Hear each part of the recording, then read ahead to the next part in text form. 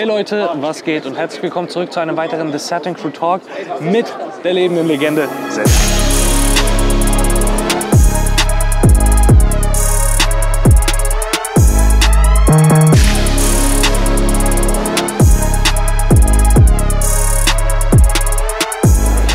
Geht's dir? Mir geht's sehr gut und wie geht's dir? Auch gut. Wie waren die letzten Messetage? Sehr, sehr, äh, ich würde sagen voll und erfolgreich. Also, es hat sich auf jeden Fall gelohnt, hier zu sein.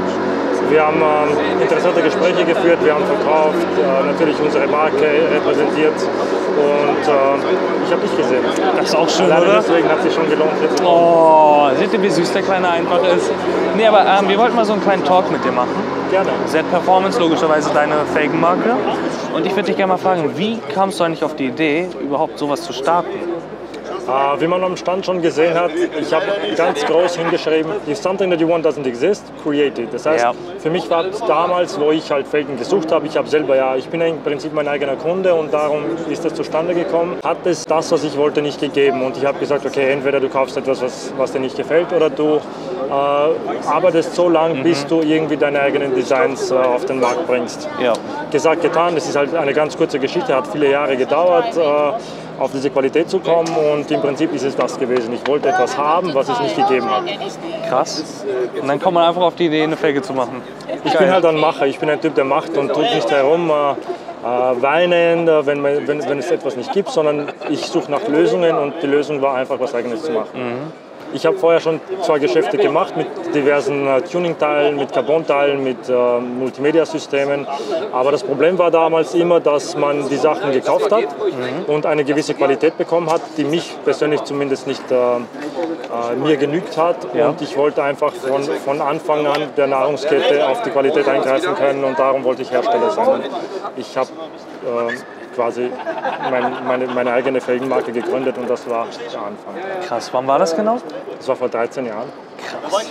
Und war wahrscheinlich eine der besten Entscheidungen, die du je getroffen hast. Ich würde sagen, ja, ich hätte selber nie gedacht, dass es so weit kommt. Ich, hab, ich kann mich erinnern, am Anfang habe ich immer, ähm, war mein Traum, ein- eines meiner Designs auf ein M-Fahrzeug zu montieren. Dass ein Kunde kommt mit, ein, mit einem E46 oder E92 M3 und sagt, ich will deine Räder haben. Äh, damals habe ich nicht einmal Fitments für diese Autos angeboten, aber ich habe davon geträumt. Dann habe ich Fitments für diese Fahrzeuge angeboten und im Endeffekt habe ich dann die ganze Industrie bestückt. Das ist unfassbar, wenn man darüber nachdenkt. Und eigentlich 13 Jahre ist ja eigentlich wirklich nicht lang.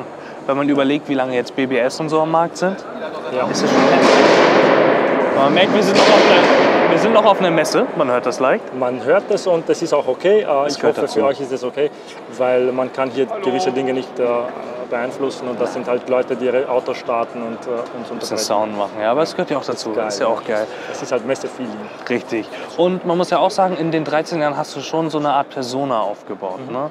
Setzli immer alles schwarz, böse, aggressiv. So wie es dir gefällt. Gell? Richtig, genauso wie ich es mag.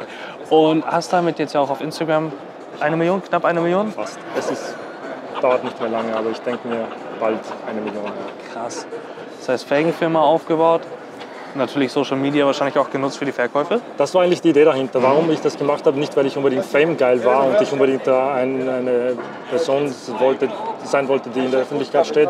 Aber ich habe mir gedacht, wie kannst du jemandem etwas verkaufen, indem du ihm gar nichts verkaufst, indem du ihm einfach nur vorlebst, Ja. was man halt machen kann, was man äh, schaffen kann im Leben, was man erschaffen kann und wie weit man halt kommen kann, wenn man äh, hart genug dafür arbeitet und, und genug an sich selbst glaubt und sich nicht nur äh, an sich se- selbst glaubt, sondern an sich arbeitet. Du musst ja als äh, Person immer schauen, dass du, wenn du vor- vorankommen möchtest, dich äh, weiterbildest. Und da Ja. ich spreche jetzt nicht von Schule, sondern ich, ich spreche einfach von der Persönlichkeitsentwicklung, von äh, der Entwicklung äh, selbst und immer positiv bleiben, selbst wenn es einem nicht gut geht, in den schlechten Zeiten genauso positiv bleiben und auf, auf bessere Zeiten hoffen. Und ich denke mir, das hat äh, viel dazu beigetragen zum Erfolg. Ich würde mal sagen, das sind ein paar schöne Worte. Auf jeden Fall sehr motivierend, muss Ja, man sagen. Ich meine, jeder kann es am Ende schaffen. Ne? Ich Ist bin so. der Meinung, dass es jeder schaffen kann, wenn er nur hart genug äh, an sich selbst glaubt und was dafür tut. Weil es sind viele Leute, die träumen, die möchten, aber es scheitert am Tun. Hunger musst du haben, du musst arbeiten, du musst Ja. was tun. Und da geht es eben nicht nur um äh, eine Woche, zwei Wochen, weil viele sind, äh, arbeiten halt, aber halt nicht lang genug. Die geben Ja. auf und ähm, du kennst wahrscheinlich diese Memes, wo einer gräbt und dann gibt er auf, kurz bevor er diese Diamanten Ja, findet. ja, ja, genau, ja. Und, und um das geht's. Du musst so ähm, hartnäckig bleiben, bis du es schaffst. Und Ja. solltest du es nicht schaffen, dann geht es darum, dass du wieder aufstehst und nochmal was anderes von vorne beginnst ähm, und einfach nicht liegen bleibst. Ja. Und das ist, das ist halt äh, der Weg zum Erfolg. Ja. Und äh, das, bei mir hat es halt fünf Jahre gedauert, bis ich endlich mal aus meiner Firma Geld rausholen konnte. Was ich getan habe, ist immer reinvestiert. Das heißt, alle Erträge, die ich aus meiner Firma gewonnen habe, habe ich wieder in Marketing gesteckt oder in äh, äh, der Entwicklung neuer Fitments oder neuer Designs Ja. und nicht einfach ausgegeben, weil sehr viele haben Erfolg, kommen zu ein bisschen Geld und, und hauen das raus. Und dann war es das auch wieder ganz schnell. Es gibt ein gutes Beispiel in Amerika, ADV One, vielleicht sagt ihr das was, die Firma? Noch nicht gehört, Es nein? ist äh, einer der geilsten Geschichten, die ich jemals gehört habe. Okay. Ich habe die Geschichte schon vorher gehört. Man hat es mir jetzt bestätigt. Ich habe nämlich jemanden aus Amerika kennengelernt Mhm. und ihn gefragt, weil er kennt sich in der Branche sehr gut aus, was es mit dieser Geschichte auf sich hat. Und er hat mir bestätigt, er hat mir die Geschichte genauso erzählt, wie ich sie ka- kannte. Kurz ging es darum, dass ein ähm, Designer, im Prinzip genau dasselbe wie ich, nur ein, ein anderer Name in Amerika, ADV1, ADV1, vielleicht kennt jemand die Felgenmarke, hat einfach so viel Erfolg gehabt mit seinen Designs, dass er diesen Erfolg einfach nicht, äh, er, er hat es nicht gepackt. Ja. Und zwar hat er sehr viele Aufträge entgegengenommen von Kunden. Er hat quasi immer 50% Anzahlung genommen und er hätte immer 50% an die produzierende Fabrik weitergeben müssen, um diesen Satz Felgen, den der Kunde bestellt hat, zu produzieren. Was er gemacht hat, er hat so eine gute Beziehung zu dieser Firma gehabt, weil er hat ja schon eine, einige Jahre Erfahrung gehabt, äh, dass die gemeint haben, ja okay, zahlst du später, ist kein Problem. Äh, Die haben ihn halt quasi das Geld nicht ähm, angenommen, sondern ihn halt einfach später bezahlen lassen. ja, das tut weh. Und Okay. er hat dann gesagt, okay, ist kein Problem, hat aber weitere Aufträge entgegengenommen, aber nie weitergegeben an die Fabrik und niemals produziert.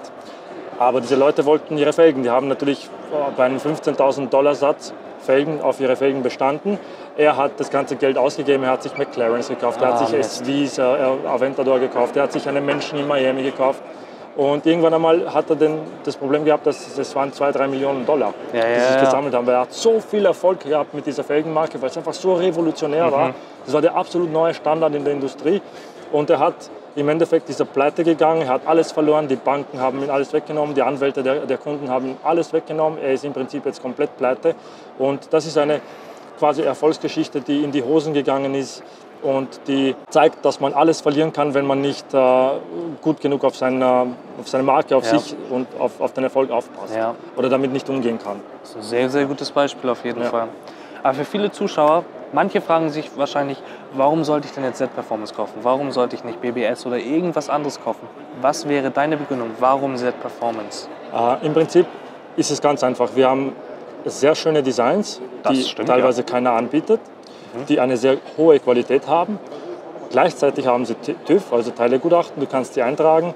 Und wir reden hier auch von den Mehrteilern, die teilweise fast niemand hier mit TÜV anbietet. Wir haben äh, für im Prinzip fast alle Fahrzeuge ähm, jetzt nicht zum Beispiel Minus-ETs mit Breitbau und so, das sind Sonderfälle, aber im Prinzip für jedes normale Supercar, wie auch hier hinten, wir haben einen RS6, einen RSQ8, äh, me- mehrteilige Schmiederäder, teilweise zum günstigeren Preis wie manche Anbieter, ich sage jetzt keine Namen, aber mit TÜV, die man ganz legal in Deutschland fahren kann und natürlich äh, bieten wir jetzt seit neuestem die Möglichkeit, gewisse Custom Finishes äh, zu bestellen, die wir in-house, also hier in Europa fertigen, ähm, bei uns im Z-Performance Hauptquartier und das ist halt eine Kampfansage und Ja, ein äh, definitiv. Verkaufsargument, den manch andere nicht hat. Ja, da hast du recht.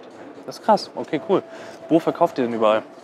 Im Prinzip weltweit, nein, weltweit. Wir haben einen sehr, sehr starken Händler, der schon 80 Jahre alt ist. Der macht das mit, mit äh, Reifen und äh, also Reifen Großhandel in Mhm. äh, Japan, in Kyoto.